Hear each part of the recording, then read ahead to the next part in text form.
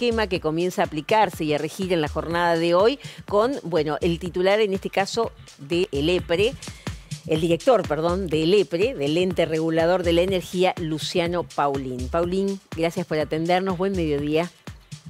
Buen mediodía, Sonia, ¿cómo estás? Un gusto. Bien, bien. Bueno, básicamente entonces, cuando decimos que hoy el nuevo esquema comienza a regir, ¿qué estamos diciendo básicamente? Lo que dijiste es totalmente correcto. A partir de los consumos de hoy, del 1 de septiembre, en toda la Argentina rige el proceso de segmentación tarifaria. O sea, hoy empieza como una nueva medición. Es, es, Así es a partir del día de hoy se comienzan a hacer los respectivos tomas de mediciones ya con los nuevos valores de los precios estacionales que se han fijado conforme el criterio que has determinado correctamente de los famosos T1, T2 y T3. bien, hay mucha gente que no se inscribió. Eh, ¿Tienen ese dato ustedes o que se ha inscrito y tal vez eh, tuvo problemas, digamos, y tiene que completar datos? Sí, eh, en la provincia de Entre Ríos, al corte que tenemos al 15 de agosto, que es la información suministrada por la Subsecretaría de Planeamiento Energético de la Nación, en la provincia de Entre Ríos se inscribió el 60% de los usuarios, correspondientes a sobre un, universo de 510.000 aproximadamente, y eso significa después discriminadamente que en T1 fueron 5% aproximadamente de usuarios, en el nivel T2 eh, que sería por un criterio de exclusión, fue un 57% los que se inscribieron sobre un 100 y en el T3 un 38%. Eh, los que quedaron sin inscribirse, es bueno tener, repetir esto, el formulario RACE sigue abierto y significa que se pueden seguir inscribiendo. Lo que sucederá naturalmente es que el corte lo tendrán a medida que eh, se vayan inscribiendo, ¿no? El primer corte ya se hizo al 31 de, de agosto y por lo tanto los consumos desde el 1 de septiembre ya tendrán los nuevos valores, valores PES, que son los precios estacionales fijados por Camesa, eh, para implementarse con las facturas que, como siempre decimos, según las tomas de mediciones, sean mensuales o cada dos meses, lo veremos reflejado en octubre o noviembre respectivamente. Ese, ese registro, ese formulario que usted dice que sigue en vigencia, eh, parece una obviedad, pero hay mucha gente que todavía lo consulta, ¿se puede seguir haciéndolo en forma presencial y también en forma virtual?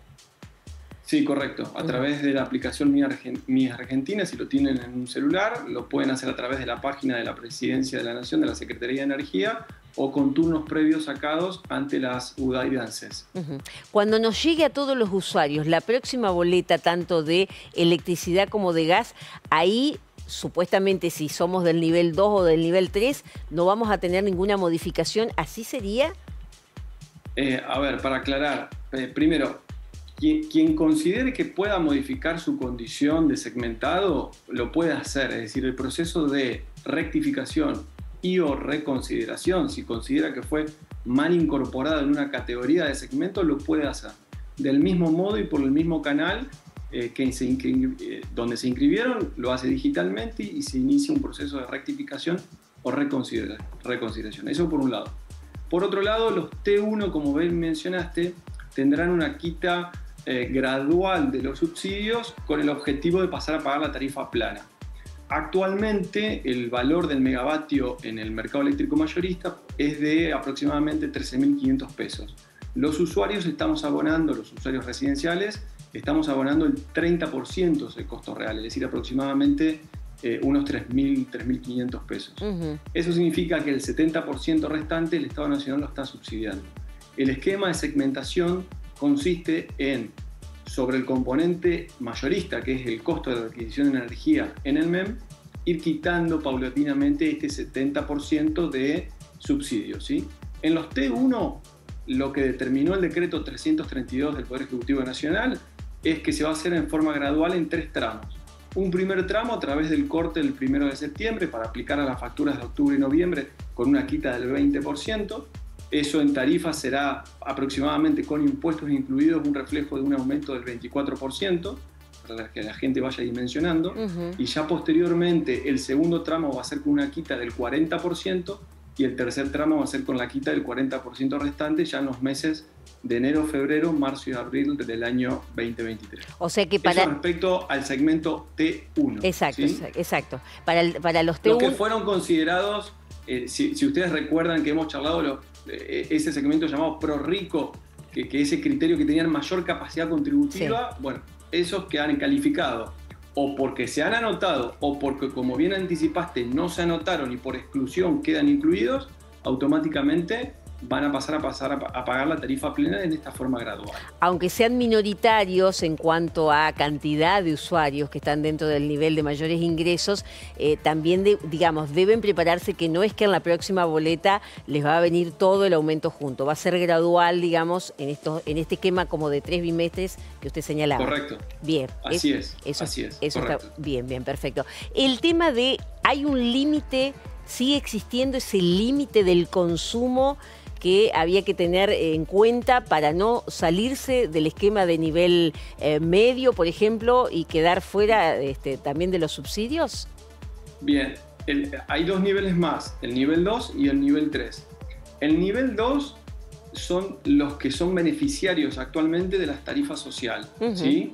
Eh, o, por así llamarlo, los de menores recursos ellos no van a sufrir incrementos en, la energía hasta el 31 de diciembre del corriente año. Eso es lo que expresa el decreto 332. Bien. Ese, ese es el segundo eh, nivel, segmento que no va, no va a tener ningún tipo de subsidio. Y ahora entramos en el, en el famoso análisis de los topes que estás haciendo mención, que son los T3, los niveles intermedios, es decir, aquellos que por un criterio de exclusión, es decir, quienes no, hayan ingresado en T1, ni en T2, ni en alto, ni en bajo, queda automáticamente calificado como criterio intermedio.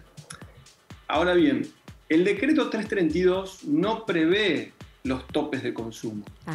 Este criterio fue un criterio que se anunció en la conferencia de prensa cuando la nueva secretaria de Energía lo anunció junto con su equipo eh, energético, pero lo cierto es que al día de hoy primero de septiembre, los entes reguladores provinciales de la Argentina no hemos recibido ningún acto administrativo que refleje lo que se ha manifestado en diferentes medios periodísticos y en la propia conferencia. ¿Esto qué significa? Significa que eh, lo que se dijo fue que estos eh, usuarios que califiquen entre 3 van a estar subsidiados hasta 400 kWh. Acá hay que hacer una, un paréntesis. En la provincia de Entre Ríos, el 80% de los usuarios tenemos como promedio de consumo 200 kWh al mes. En, la, en Argentina, el promedio es de 300 kWh al mes.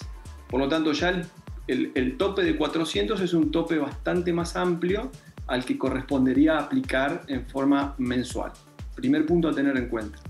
El segundo punto es que la quita de subsidios para este tope se realizará sobre el excedente de los 400 consumidos. Ejemplo, si yo consumo 450 kWh mes, no me van a aplicar una tarifa plena sobre los 450, sino solamente sobre el excedente de los 400, sobre los 50 kW. Bien.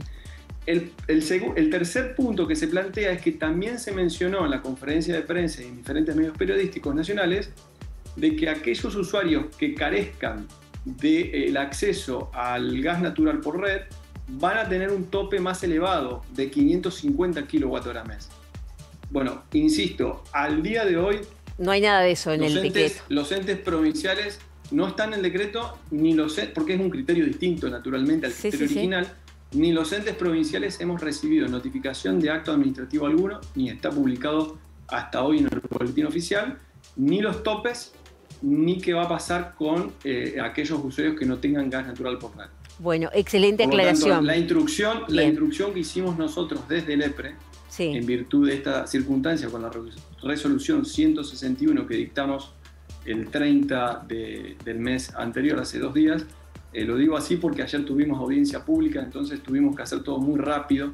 Los valores de nación fueron este, emitidos el mismo 30, así que tuvimos que salir rápidamente a emitir la resolución para comunicar a las distribuidoras es que si bien eh, tenemos los nuevos precios PEST de los precios estacionales, no tenemos forma de identificar todavía quiénes son T1, T2 y T3. Así que hasta que Nación no nos devuelva a nosotros el RACE, el, el registro de asignación de subsidios, no eh, intuimos a que las empresas distribuidoras no apliquen los subsidios hasta no poder identificarlos por la información que hemos que estamos teniendo este, por los canales telefónicos con, con, la Nación, nos dice que en el transcurso del día remitirían esa información, así que nosotros lo que haríamos es transmitir a las distribuidoras para que puedan ir identificando e ir adaptando también los sistemas de facturación. Perfecto. Eh, excelente la aclaración, Paulín, porque había muchas preguntas en realidad en torno a eso. Le agradecemos mucho esta comunicación y seguramente, porque esto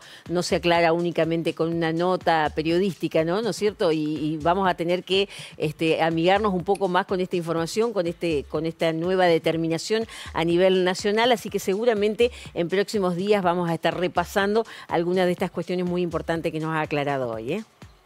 Como no, a disposición. Bien, eh, era Luciano Paulín, entonces director del Ente Provincial Regulador de la Energía, el EPRE, aquí en Entre Ríos. Seguimos con más información.